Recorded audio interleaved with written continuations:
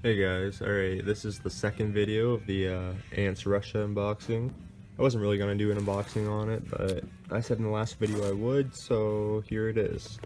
And this time it only has 14 stamps instead of uh, 22, so let's get started. I already had it pre-opened, so the packaging on top, we're going to go and check the uh, invoice here to make sure we have everything. And uh, as you can see, it's a little bit uh, better packaged. We actually have a Russian tank. They did send everything that I did order, so it's gonna open these up and uh, very good packaging, I gotta admit. So uh, just gonna open these up. And, uh... Alright guys, and here are the five nests. Um, I already unboxed them, unpackaged them from the film because on all the acrylic pieces there was like a protective film, which was the pain in the butt to remove, but I did it. And then uh, I set them all up. I put the screws in on that one there and this one I just had to again screw it in and set up these uh, a little outworld. So yeah. And then I also got a few more of these. Wish we got a couple more. That's pretty much uh, what it is. Five pieces and here's uh, the order from before.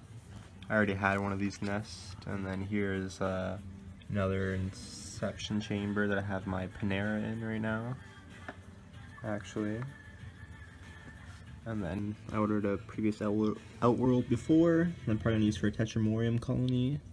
Uh, not this colony.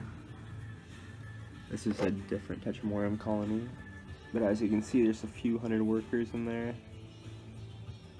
And they used to use this uh, Ant Kit UK size 2. There's a size 1 just showing you guys.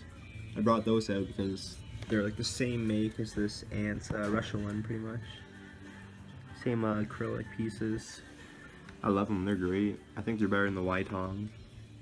As they uh, distribute uh, moisture a lot better. But yeah, sorry, I'll just cover this these guys back up. So yeah. I sort of wish I got more of these. Uh, I think they're uh, the ant nest number two. Sorry, not even freaking filming it, but yeah, I think it's the ant nest size two. I wish I got more because I have a lot of uh, Tetramorium colonies. Uh, I'm not sure why I got another nest because I still haven't used the first one. But, but this is one I'm really excited about. this big one here just looks so nice. And as you can tell by the reflections, it's pretty crystal clear and it's good quality acrylic. Like a little sponge layer to put some humidity in, and they, have, they also have water towers too in the back, like little L World sections. This is pretty cool too. It's like a, a big inception chamber with a big L outworld. You can throw your own test tubes in there. It's sort of like that one too, but it's just a smaller version of it. And this is a huge version. So yeah. I'll have another updated video when I uh, get these nests full of uh, ants. And some colonies in there, moved in and ready to go. Here it is guys. Look pretty good, great, great quality once again. Everything was shipped well, packaged well. And yeah, I definitely recommend uh, Ants Russia. Alright, see you guys.